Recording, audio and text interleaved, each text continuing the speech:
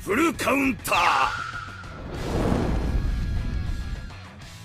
Alright, welcome back everyone to the Grand Cross video, and uh, today I wasn't really planning to make this video, because, well, as we saw with the, the leaks uh, like a few weeks ago or so, uh, we do know the confirmed characters for Festival, which is Arthur and also uh, Estarossa. Now, the reason why I'm making this video is because, well, Arthur is not Festival type, so who's going to replace him? And that's the whole point of the video. Now, we're going to go over you know, speculation and predictions. None of it is true, and uh, who knows what he can do. And uh, yeah, we're just kind of go off that, right? So let me start by saying this.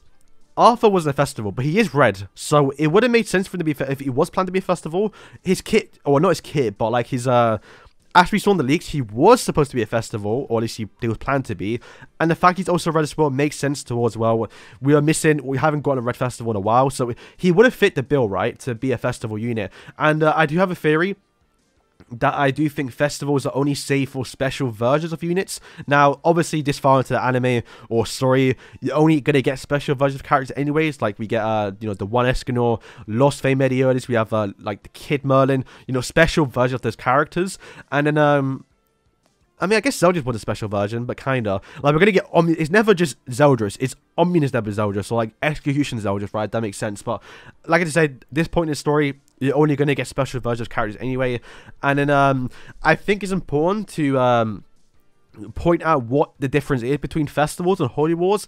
And uh, we don't know just yet, really, because we've only gotten two. But I do think it's safe to say that it's um, good guys versus bad guys, in my opinion. Now, I know a lot of people are going to say, oh, it's sins versus commandments, which um, it could be true. But when we look at what's coming in the future, I think it's uh, not going to happen. The reason why, because I still think um, what's the name? Uh, Demon Chandler should be a festival type unit because it is the special version of Chandler, and uh, well, he's not a commandment.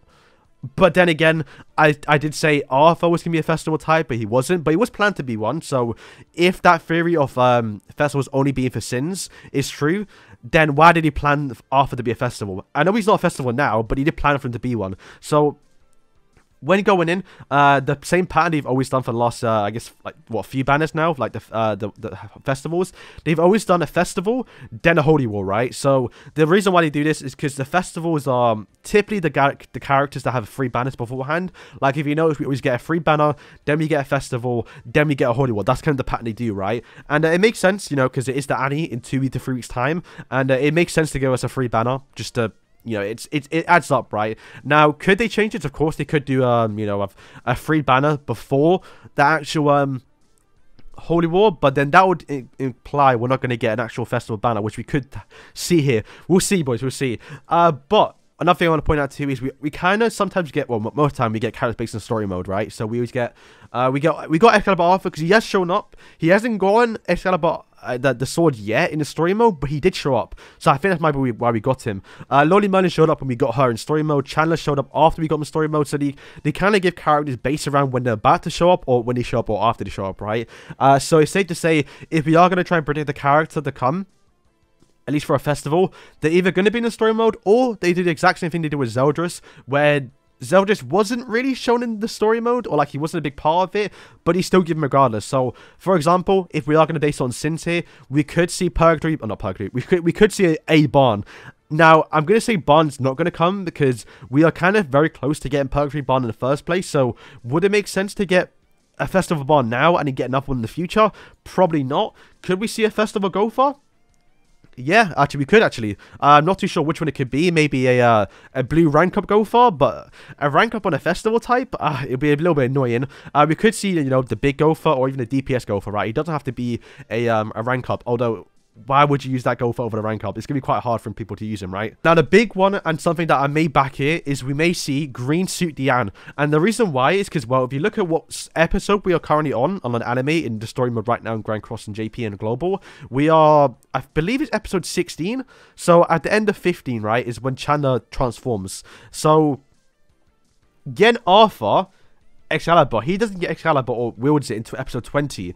So you know, we're, we're, quite far ahead. And if we are be getting Estarossa, the Holy War version, he doesn't show up to episode 23, so we are jumping quite far ahead in the future of characters to get Estarossa for the actual, I guess, for Holy War. So it makes sense if we could get Green Suit Diane, because I do believe she shows up in episode 21 or 19. So she's in between, uh, I guess, uh, Arthur and uh, Holy War Estarossa. So it makes sense for her to come if they do to add, if they want to add her.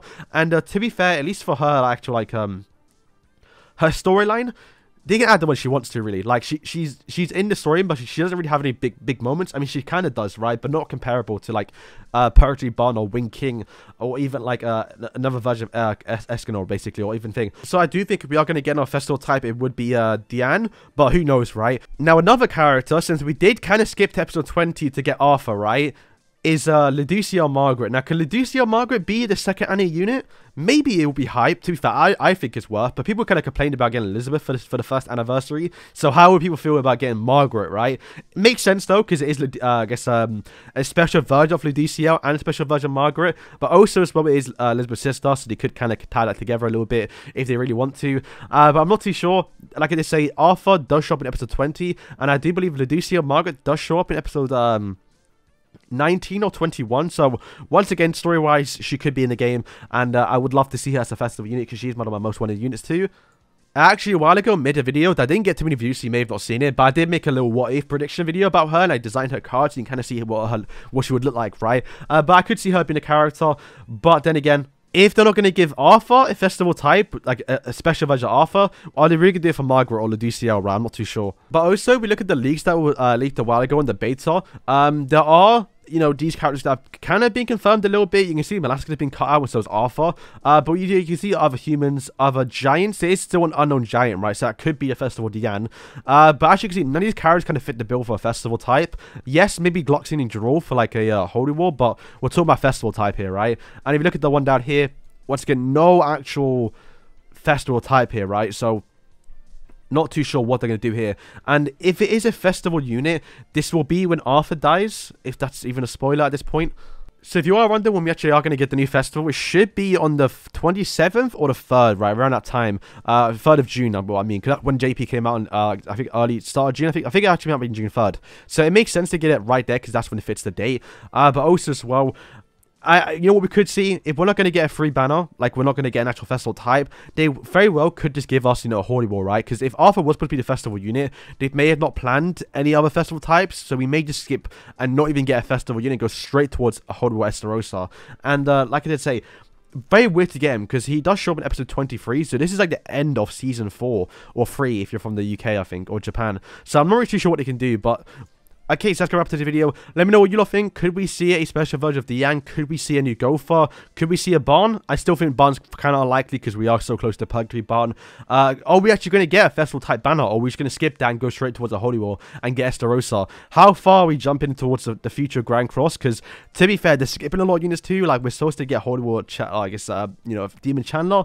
Cusack, like, what are you doing, lads? I'm kind of excited for it, so we'll see what happens uh, in a few weeks' time. Obviously, stay tuned when we do cover the news as well. But looking forward to it. My personal thing probably be Ludociel or Margaret or Diane, to be fair, I, I, actually do like Diane. And, um, you know, Grand Cross has kind of mugged Diane and, and Ban. Like, we haven't seen really a good Diana Bond in so long, so I would love to see two of them. Plus her green suit as well. Lads, you know I love my color my color green, uh, so I would love to see a green suit Diane. But then again, her costume will probably sick, so I don't know. We'll, we'll see Giant Meta, I think, coming. Oh, you know, it could be, you know because they they they are pushing mono races. We just seen four unknown teams of the ReZero units. We just seen four. We just seen four demon teams of assault melee. We've now just seen four human teams. Could we see a four giant team? Oh, it would be kind of bad because there's only two giants, so maybe it's not a good thing. But if you can see like a a draw, Deanna, Eren, Aaron make a comeback because Titan form Eren is a giant. Who knows, boys? But I'm excited for it. So yeah, thank you for watching and uh, peace.